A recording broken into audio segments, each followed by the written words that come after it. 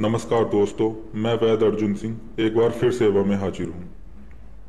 दोस्तों, मैं काफ़ी समय से अपने क्लिनिक पर बिज़ी था और इसीलिए मैं रेगुलर वीडियोस अपलोड नहीं कर पा रहा था।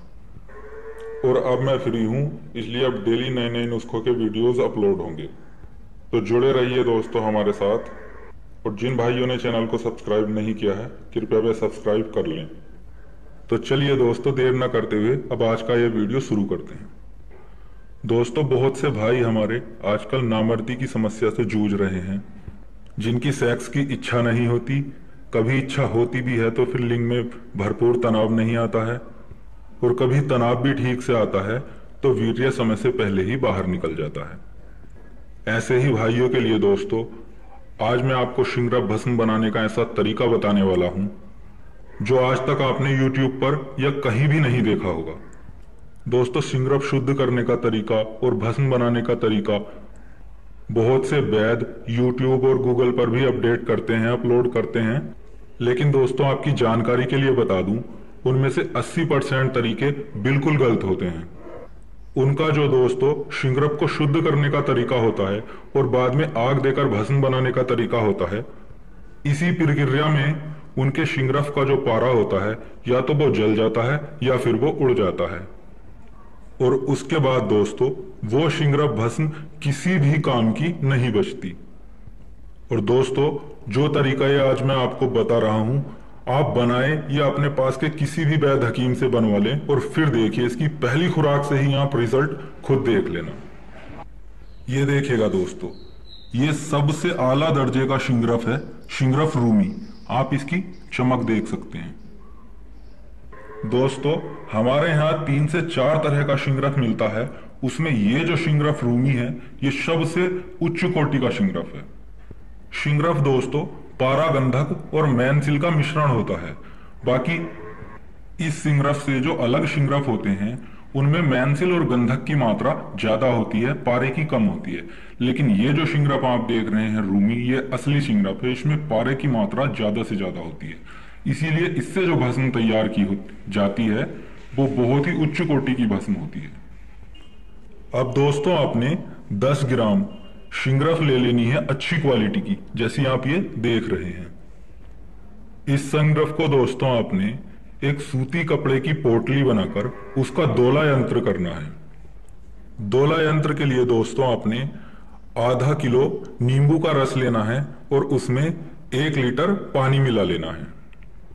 उसमें आपको इसे लटका देना है तीन घंटे के लिए। जो भी वैद हकीम भाई हैं मेरे, वो जानते होंगे दोला यंत्र किस तरह किया जाता है। नींबू के रस और नल के पानी में, ताजे पानी में इसका दोला यंत्र करना है तीन घंटे के लिए। उसके बाद दोस्तों, आपने इस शिंगरफ को निकालकर नींबू के रस में लगभग आधा से एक घंटा खरल करना है और उसके बाद इस शिंगरफ की आपने एक टिकिया बना लेनी है, गोल टिकिया। टिकिया दोस्तों, आपको सिक्के के जैसी गोल नहीं बनानी है। गोल, गोली जिस तरह कांच की गोली होती है, जिससे बच्चे खेलते हैं, उसी तरह की गोल टिकिया बनानी है इसकी। अब दोस्तों, जब आपकी ये गोल टिकिया सूख जाए, तब आपने एक धतूरा लेना है बड़े से बड़े साइज़ का। अब दोस्तों, आपने ताजे धतूरे के बीच में से टुकड़े कर देने हैं, दो टुकड़े। मतलब उसे बिल्कुल बीच से दो टुकड़ों में काट देना है। अब काटने के बाद दोस्तों उसके बीच के बीज वगैरह आपने बिल्कुल निकाल लेने हैं दोनों साइड के। और वो जो खोखली जगह बचती है, उसमें आपने अपने शिंगरफ की गोल टिकिया रख देनी है और वापस से अपने धतूरे को जोड़ देना है। अब दोस्तों, आपने थोड़ा चिकनी मिट्टी का घोल बना लेना है, लूदा बना लेना है। अब आपने एक कॉटन के कपड़े की पट्टी ले लेनी है, लगभग दो से ढाई फीट की। उस पट्टी को आपने उस गीली मिट्टी के पानी में भिगो देना है। मतलब थोड़ी थोड़ी मिट्टी उस पट्टी पर चढ़ा देनी है और उस पट्टी को आपने धतूरे पर अच्छी तरह चारों तरफ़ लपेट देना है। लपेटने के बाद दोस्तों, आपने उस पट्टी पर लगभग आधा इंच मोटा मिट्टी का लेप चढ़ा देना है और उसे एक बॉल की तरह, गोल गेंद की तरह बना लेना है। अब इस गेंद को दोस्तों आपने सुखा लेना है अच्छी तरह। और दोस्तों, जैसे ही आपकी ये बॉल अच्छी तरह सूख जाए अब आपने लगभग ढाई से तीन किलो रेत लेनी है। रेत अच्छी हो, गीली ना हो। अब आपने उस रेत को एक कढ़ाई में डालकर अपने गैस चूल्हे पर रख देना है। दोस्तों, लकड़ी या उपलों की आग या भट्टी की आग इसे नहीं देना है। आपने गैस चूल्हा ही इस्तेमाल करना है और लगभग मीडियम से, लगभग मीडियम से भी थोड़ा कम आँच पर उसे रख देना है उस रेत को। अब दोस्तों, आपने इस रेत में अपनी वो धतूरे वाली बॉल जो आपने बनाई है, उसे रख देना है बिल्कुल बीच में। याद रहे, इसकी ये जो तली होती है कढ़ाई की, उसमें भी वो टच ना हो और वो ऊपर भी ना रहे। बिल्कुल बीच में आपने उस बॉल को रख देना है। अब दोस्तों, आपने आग जला देनी है मीडियम से थोड़ी कम और लगभग दो घंटे तक आपने यही आग रखनी है। दो घंटे के बाद आपने दोस्तों, गैस को मीडियम साइज़ से थोड़ा और बढ़ा देना है।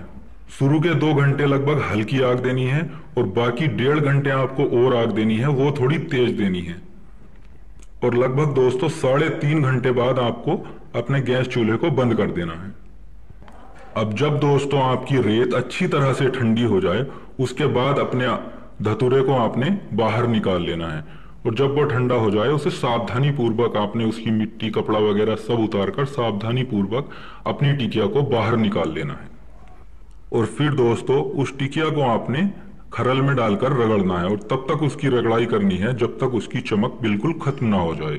और उसके बाद दोस्तों, आप उसे इस्तेमाल कर सकते हैं। दोस्तों, ये वो तरीका है, इससे बनाई गई भस्म का पारा कहीं भी नहीं उड़ता और बहुत बहुत अच्छा रिज़ल्ट मिलता है। ये देखिए दोस्तों, ये कुछ ही दिन मैंने पहले तैयार की है और ये आप देख सकते हैं। ये भस्म मैंने धतूरे में ही तैयार की है।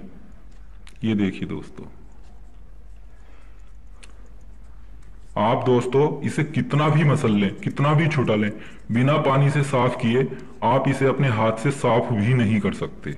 इसे चाहे जितना रगड़ लीजिए, ये छूट नहीं सकती आपके हाथ से, जब तक आप इसे अच्छी तरह से साफ़ नहीं करेंगे।